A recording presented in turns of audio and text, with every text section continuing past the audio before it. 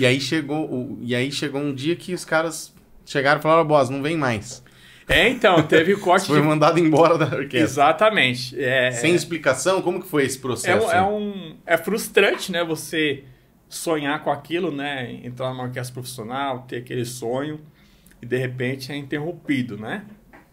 Eu sou cristão e eu, é, eu se- tudo está nas mãos de Deus. Eu sempre penso isso. Se Sempre. Deus fechou uma porta, Deus abre outra. Sim. Penso dessa forma, como cristão. Mas é frustrante, né? A gente não pode negar a frustração Não, de você não. lutar anos para entrar na orquestra profissional, de repente é entorpido. Então teve na E outra, daí você tem os seus compromissos, né? Você tem... Sim, né? Então teve cortes de verba da cultura, então cortou quase 40% da orquestra. Então foi muita gente foi mandada embora, né? Aí, de violoncelo foi eu e o Samuel na época. O último Rafael já tinha ido embora. Então a gente foi mandado embora, né?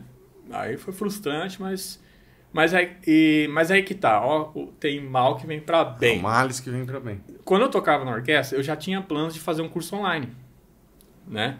Eu tinha Isso que plano- ano, que ano era, mais ou menos? 2015, 2016, por aí.